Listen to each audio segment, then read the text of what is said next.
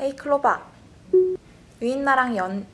음, 참 다시 뭐 헤이 클로바 유인나랑 얘기할래 남사친이 자꾸 신경 쓰여 이유 없이 연락이 안 되거나 만나기 힘든 사람이라면 내가 어정 속의 물고기일까?